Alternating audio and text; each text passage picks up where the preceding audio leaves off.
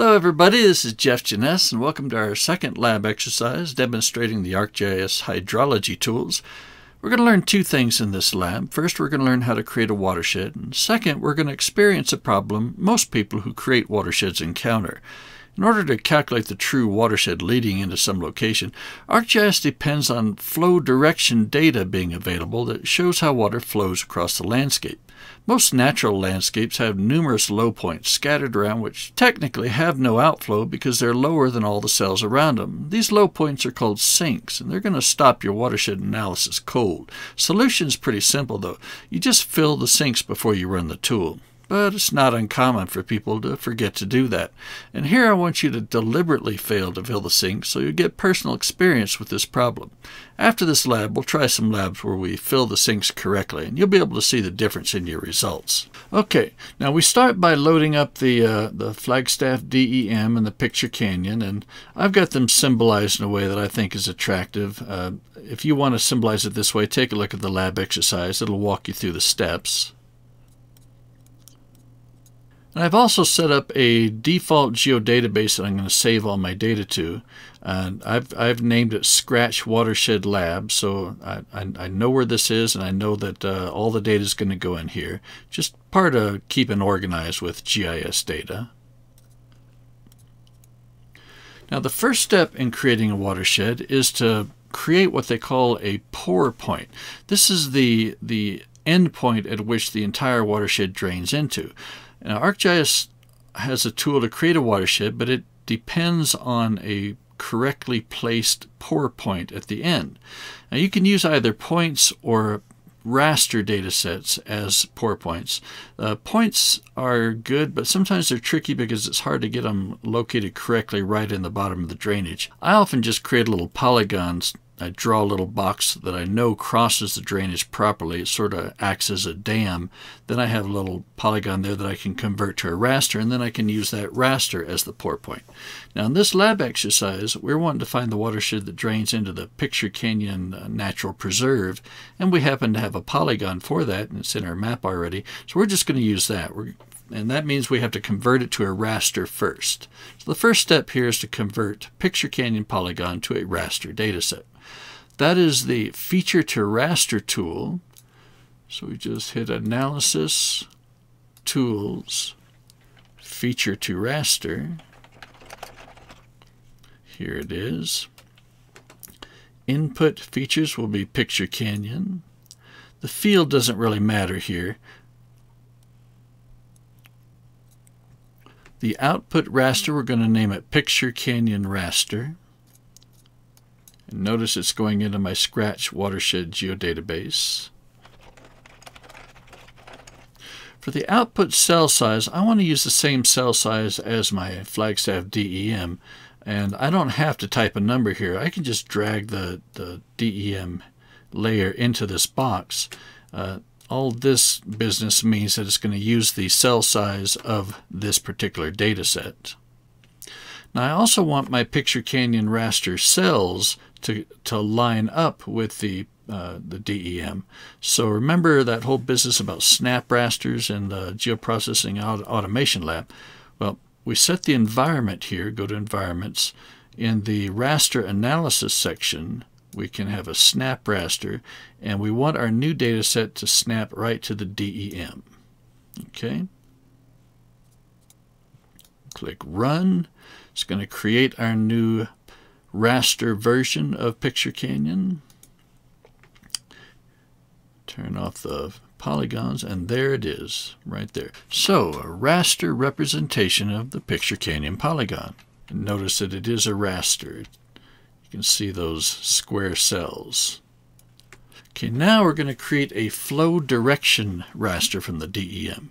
This is actually where we're, we're, we're making our mistake if we want to do this correctly. You should fill the DEM before you create the flow direction raster. We're jumping the gun because uh, you're going to do it in the future, so let's, let's learn what it's like. So next up, we create a flow direction raster. Let's zoom back to our last extent real quick. It's in Tools, flow direction. There it is. the input surface raster, the DEM. We're going to name this flow direction unfilled. This is just to remind us that this particular data set we're creating is the one that's going to be problematic because it's, it's created on an unfilled DEM. We don't have to worry about the output drop raster. The flow direction type, we're using the D8 method because that's what you can use later with the watershed tool. If you're curious what these other two are, take a look at the lecture on hydrology. I, I explain what they are. But in the meantime, we're just going to go with the D8 method. Hit run. It'll go to work. And now we have a flow direction. Now every cell here tells what direction the water would flow coming off that cell. And now we can use this flow direction raster plus our picture canyon raster as, as serving as sort of the dam at the end of the watershed to create the watershed that drains into picture canyon. So that's the watershed tool. Hit tools. Do watershed this time. Okay, well the input flow direction raster would be the one that we just created. The the feature or raster pour point, remember this is the dam that's stopping the watershed. This is where the watershed all uh, drains into. And we generated this picture canyon raster to serve that purpose. Pour point field doesn't really matter here. We're going to name it watershed unfilled. Now the last step, uh, we want to make our new raster as large as the original raster. Uh, and, and sometimes if, if you don't do this, then it'll just generate a watershed raster within the extent of one of these smaller layers, and that can be a problem. So we want to force it to generate the watershed over the entire extent of the original DEM. So that's in the environments where we set our processing extent to be the same as a layer, we're going to be the same as the DEM Flagstaff area raster. And when we select that, it just fills in the UTM coordinates for the extent of it. All right, everything's set up. We just hit go. It generates a wa our watershed that drains into Picture Canyon. Turn off this stuff.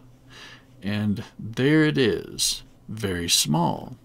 Notice that uh, the we, we can draw the watershed or the picture canyon preserve right on top of it. The watershed itself barely extends outside of the Picture Canyon Preserve itself. Now this is a surprise. I mean, you can even see a drainage coming in here. And in fact, Picture Canyon is at the bottom of what they call the Rio de Flag watershed. And the Rio de Flag comes all the way around here. It goes all the way up here. It goes up to the top of the mountain. So the watershed should be a lot bigger and why isn't it? And that's that's the problem with uh, using an unfilled DEM. Turns out that there's some little cell right up here near the entrance to the preserve that must be a little sink, and so the watershed just backed up to that spot and stopped. So so now we have a, a watershed that is incorrect. Now this watershed raster that we created, it actually is as large as the original DEM. That that environment setting we made did work. If we right click on this layer and go to zoom to layer, it will zoom all the way out.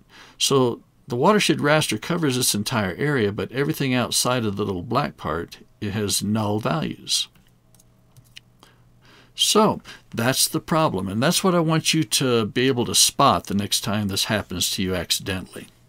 All right, uh, thanks so much, everybody, and future labs will show how to do this correctly. You take care.